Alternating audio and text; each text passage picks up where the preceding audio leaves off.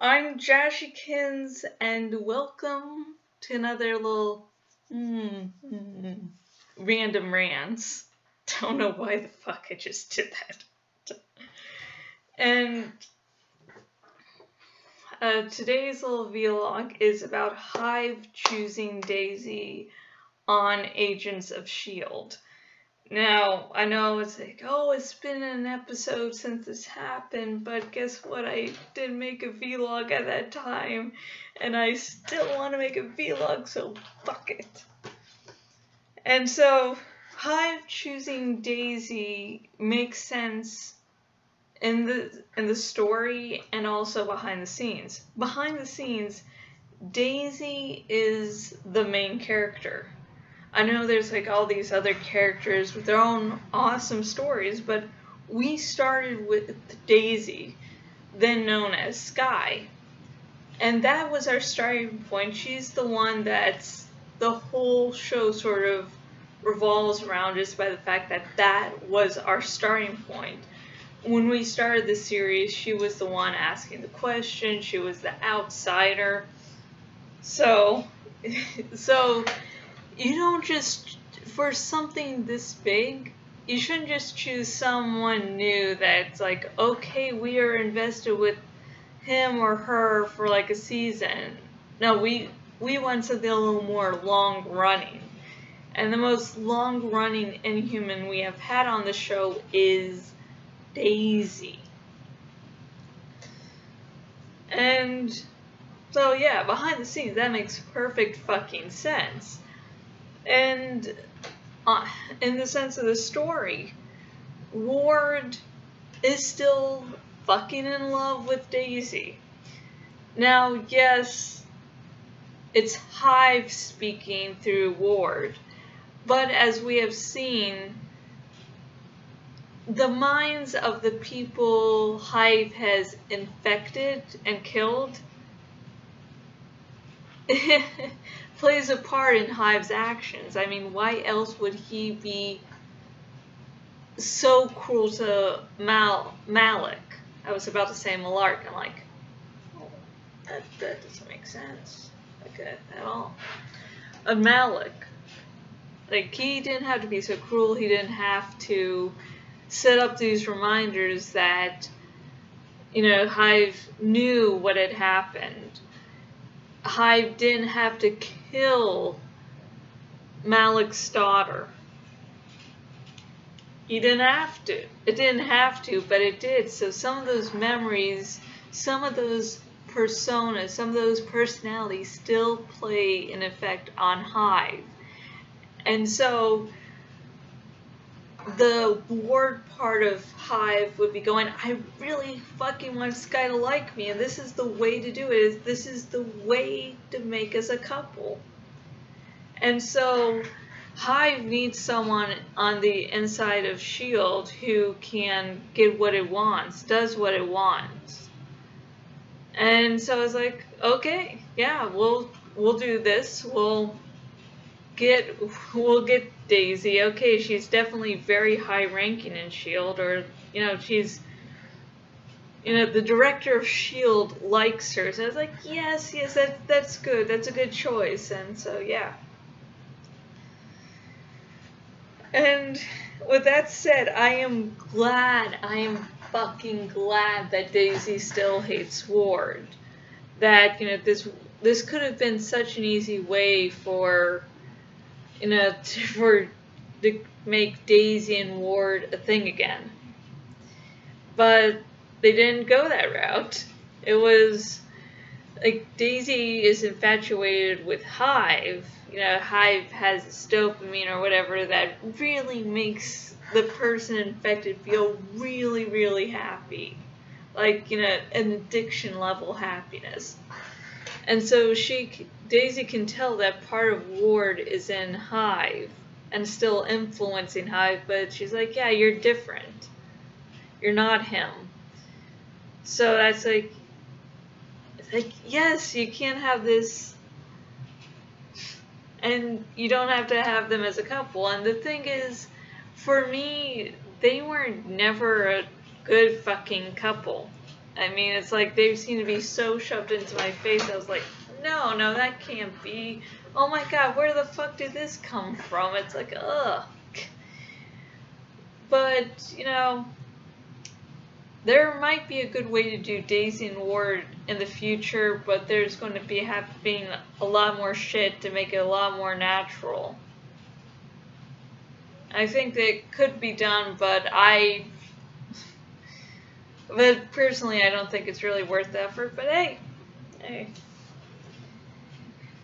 So yeah, that's so that's my feelings on Hive choosing Daisy. It makes sense behind the scenes and in the universe it's set in. So, what do you think? Did you what did you think of when Hive you found out Hive chose Daisy? Were you like, oh my god? We're like, woot woot! I didn't like that Daisy anyway. Woot woot! Or were you screaming at Joss Whedon? I mean, all of us Whedonites have those moments of like, you have pained us so much, Whedon, but we're we're going to keep on coming back. I'd like to know your answers, so comment below. On my Twitter right now at Jashykins, I I do have a poll, and I think it has like one day left. So if you want to yeah. I got 14 votes so far, and the most of them were like, oh my god. so, uh, I have been Jashikin's owner at jashykins.blogspot.com. If you go to my vloggity vlog, you can see stuff like this.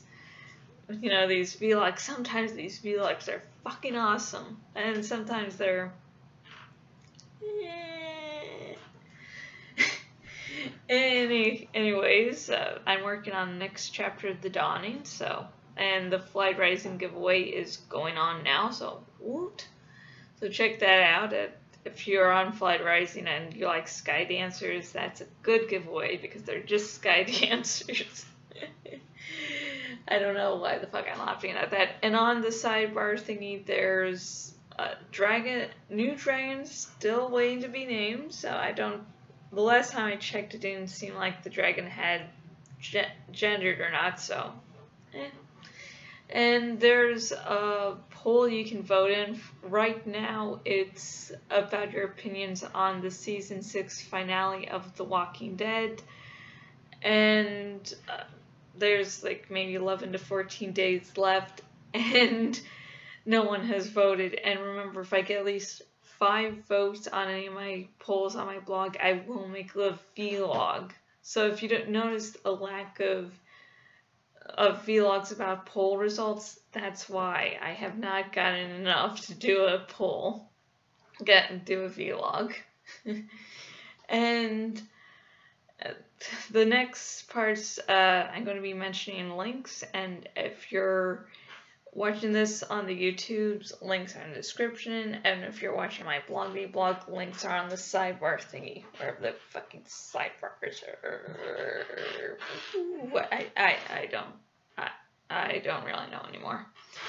Anyways, I am writing a web series called Chronicles of Gaia. It's post-apocalyptic science fiction, people turning into animals, humans invading Earth, and um, most recently, the bonus, the first ever bonus chapter has been released.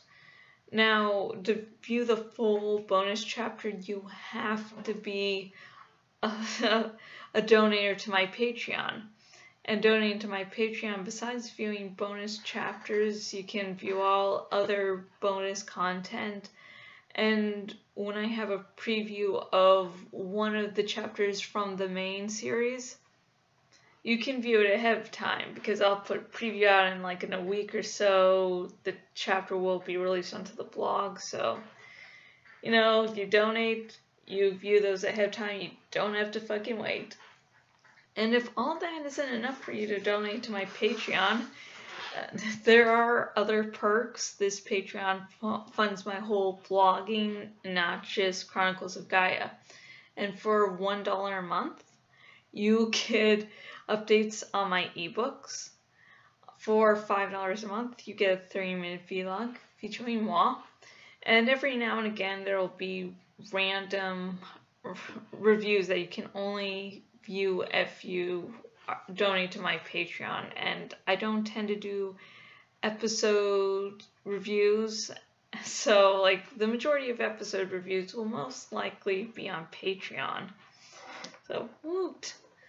And let's see, let's see. And I do writing commissions on Fiverr, so if you have anything you want to be written, go ahead and seek me out there.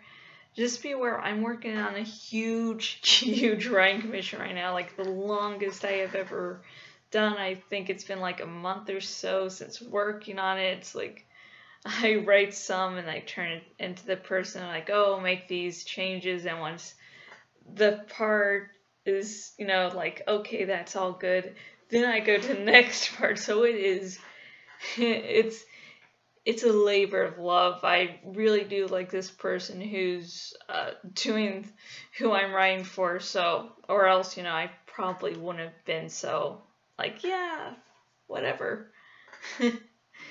and I have a CafePress shop and I make new designs once a week and sometimes I expand. And this coming week I might just expand on a design or two. And and yeah, that's that's really it. And until next until next video. Goodbye.